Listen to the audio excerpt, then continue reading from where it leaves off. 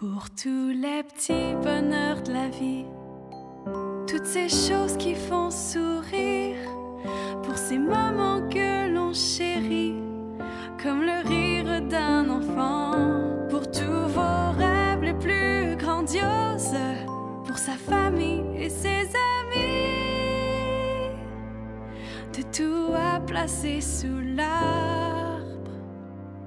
il y a si